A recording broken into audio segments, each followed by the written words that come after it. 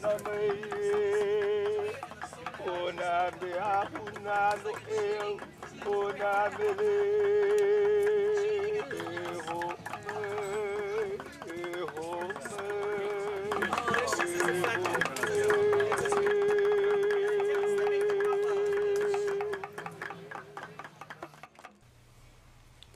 Federated States of Micronesia consists of four tropical island groups in the western Pacific Ocean.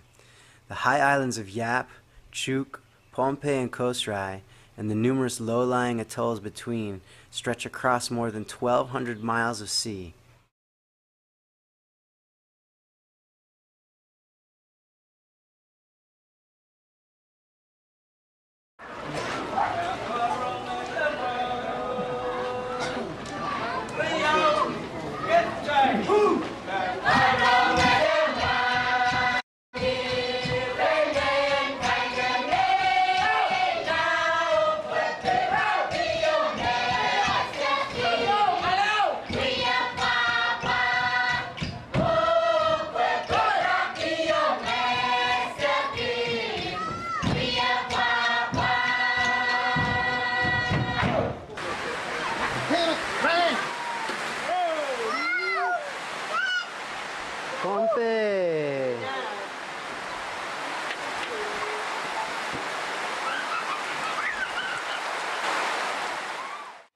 My name's Clay Trauernicht. I finished my master's degree last year at the botany department at the University of Hawaii.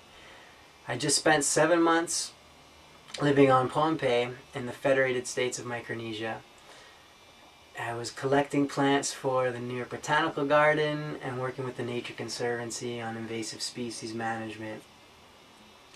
Lived with a family, drank lots of sakao, and got to learn a lot about the problems that they're facing on some of the islands of Micronesia. Today, I'm going to try to present to you the situation that's happening on Pohnpei with cultural changes involving the use of sakao, known as kava, on other Pacific islands, and how that's affecting forest management and forest conservation. The island of Pohnpei is just 334 square kilometers. The mountainous interior is one of the wettest places on Earth and contains the world's lowest cloud forest at just 2,600 feet elevation. There are very few natural beaches on Pohnpei. Instead, the island is almost completely surrounded by some of the most extensive mangrove forests in the Pacific. One to three miles beyond the mangroves lies the barrier reef, which forms a lagoon that encircles the island. Pohnpei is incredibly fascinating because there exists an explicit connection between people and plant resources. It is also interesting because although we can see island cultures undergoing rapid change, many of the older traditions are still strong.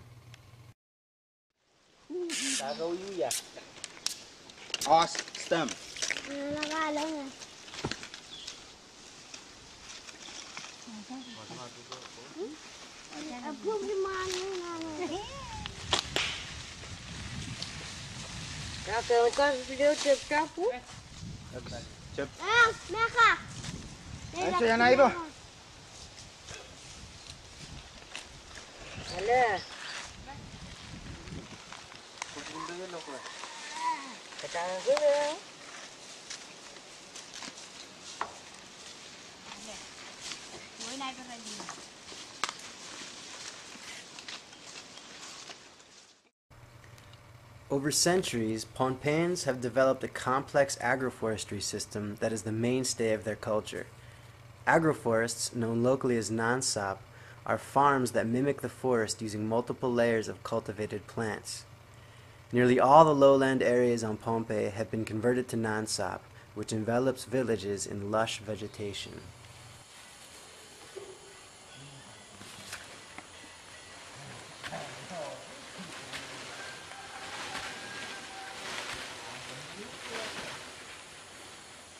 Lagi wala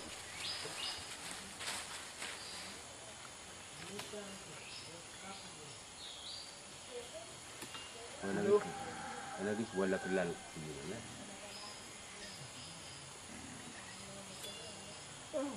Okay.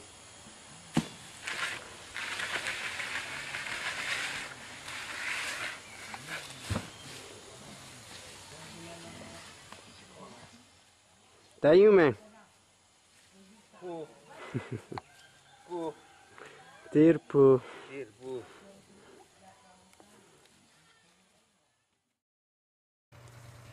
The canopy in Nansap typically consists of large breadfruit trees and coconut palms. Below, ground crops such as taro and yams are planted among smaller trees like bananas and betel nut palms.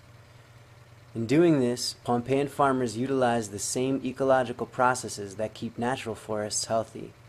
Non-sap can be productive for decades. The importance of non-sap has diminished in recent decades. With the change to a cash economy, people rely less on local farming to feed their families.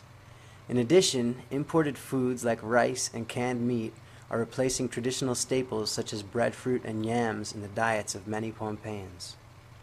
The most culturally important plant cultivated in Nansap is Piper methysticum, known on Pohnpei as sakao and on other Pacific islands as kava. The mildly narcotic beverage made from the roots of sakao is an important part of traditional ceremonies and feasts.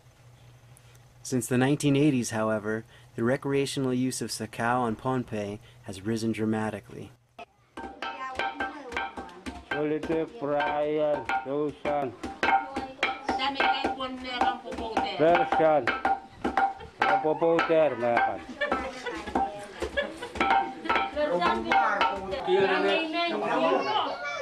kayo po bet,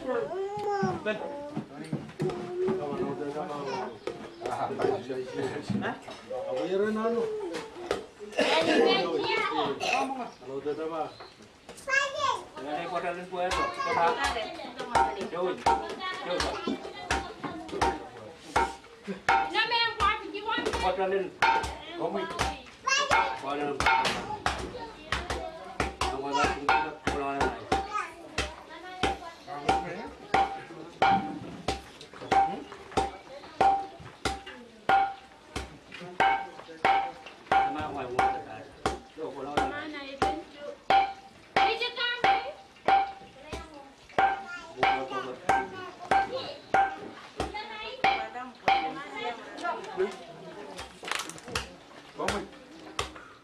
In 1996 alone, local sakao growers and businesses earned at least $3 million producing over 1 million pounds of sakao. The majority of this is consumed locally. As such, sakao has become the most economically important cash crop on Pohnpei.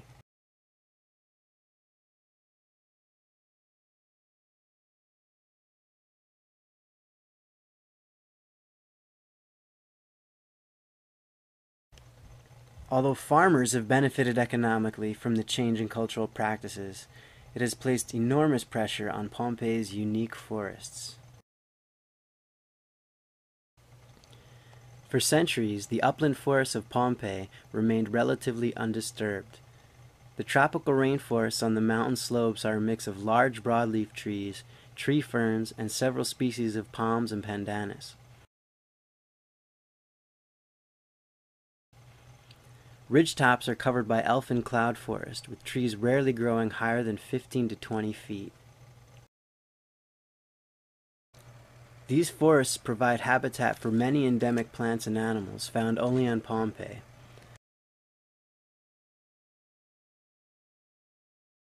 Over 50 species of plants, 13 species of birds, 28 species of tree snails, and one species of flying fox are found nowhere else in the world.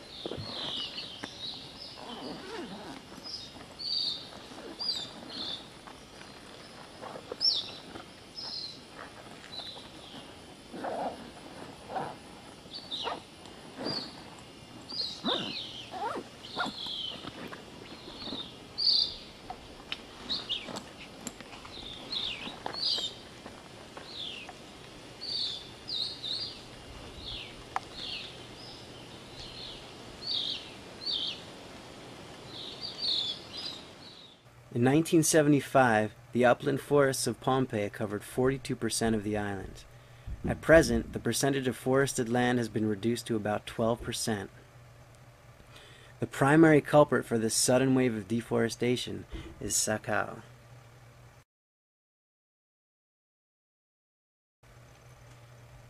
The shift to farming Sakao in the mountains has been driven by several factors.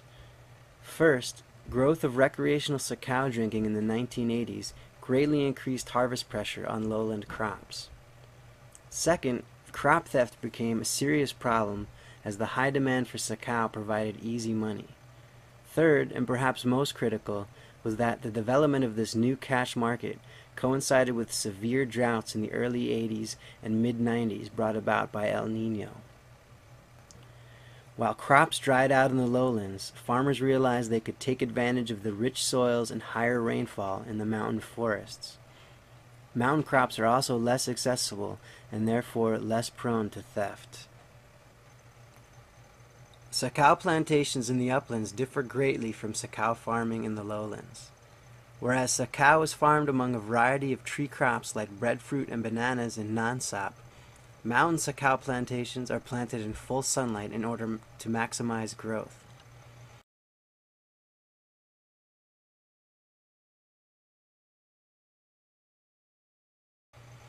The problem for forest conservation is that when a mountain plantation is established, forest canopy trees are either cut down or killed by girdling.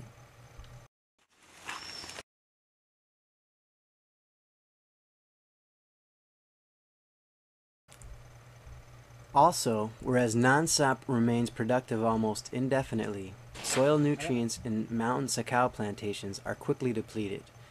This forces farmers to abandon older plantations and clear more forested areas for continued production.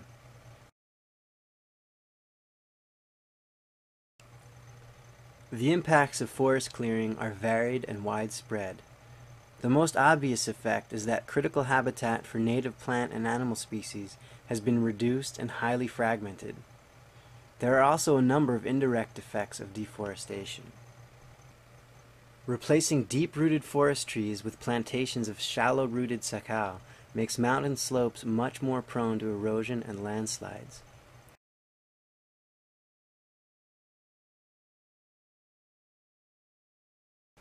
Increased sediment runoff can fill streams and smother reefs. Increased risk of landslides, it threatens the farms and villages in the lowlands. Although Sakao plantations are actively weeded, the open habitat of abandoned plantations also provides the ideal conditions for the establishment of weedy, invasive plants. Many native forest species are unable to compete with more aggressive exotic plants.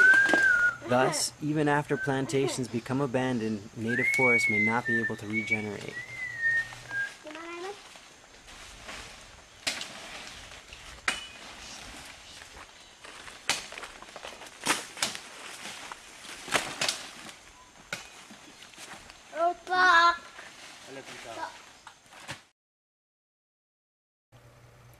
The Nature Conservancy and the Conservation Society of Pohnpei, or CSP, have been actively working with local farmers on a Grow Low campaign. The campaign promotes Sakao farming in the lowlands and raises awareness of forest conservation through public outreach and education. In addition, CSP and the Pohnpei government's forestry division have been regularly monitoring forest change. The results of the 2005 survey indicated that forest conversion has slowed dramatically, with very few new Sakao plantations being established. These surveys also indicate that there are many areas of abandoned Sakao plantations. However, it is still unclear if native forest plants are capable of colonizing in old plantations. The conservation of Pohnpei's existing upland forests, the eradication of aggressive alien species, and the restoration of degraded lands is an enormous task. Fortunately, the Conservation Society of Pohnpei, along with other groups, has been and continues to be incredibly proactive in protecting Pohnpei's natural resources.